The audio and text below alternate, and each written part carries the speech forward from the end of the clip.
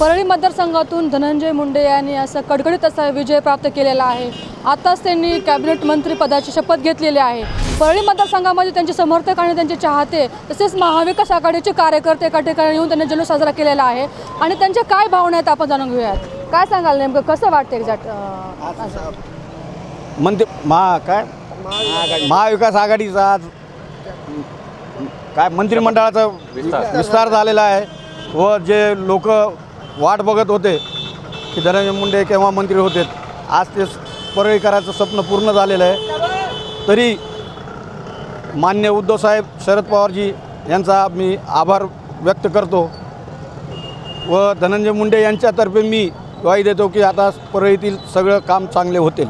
नक्कीच काय अपेक्षा आता राहतील त्यांच्याकडनं? कोणचं पद येऊ शकतं त्यांच्याकडे आणि कसे काम करतील असं काही? परळीकरांनी ज्या अपेक्षेनं ज्या उमेदीनं एक लोकनेत्याचा खरा वारसदार निवडलेला आहे. आणि त्या लोकनेत्याच्या स्वप्नातली परळी साकार करण्यासाठी राज्याचे नवनिर्वाचित मंत्री आणि ज्यांच्याकडे एक विजन आहे असे नामदार धनंजयजी मुंडे साहेब हे लोकनेत्याचं स्वप्न पूर्ण करण्याच्या दिशेनं आज त्यांचं हे पहिलं पाऊल आहे. त्यांनी मंत्री म्हणून घेतलेल्या शपथविधी या शपथविधी सोहळ्याला खऱ्या अर्थानं आज जरी आनंद सोहळा असला तरी दोन व्यक्तीची कमी मात्र आज आम्हा परळीकरांना जाणवत आहे. ती म्हणजे लोकनेते गोपीनाथरावजी मुंडे साहेब आणि दुसरे शेतकऱ्यांचे कैवारी ज्यांनी लोकनेता घडवला ते स्वर्गीय पंडित अण्णाजी मुंडे साहेब या दोघांचीही उणीव परळीकरांना आजच्या या आनंदाच्या क्षणीत जाणवत आहे. निश्चितच युवक म्हणून आपण कसं पाहता या नेतृत्वाकडे? युवक म्हणून एक युवक नेतृत्व जे आज महाराष्ट्राचं नेतृत्व करत आहेत जे काही शहराचं नेतृत्व जिल्ह्याचं नेतृत्व नात महाराष्ट्राचं नेतृत्व आज विधान भवनात जाणार आणि अत्यंत आनंदाची बाब आमच्या युवकासाठी आहे कारण की साहेबांनी शेतकऱ्याचे दिनदुबड्याचे आणि प्रत्येक माणसाचे सामान्य माणसाचे साहेबांनी एक विधान परिषदेमध्ये असताना प्रश्न उचलले होते.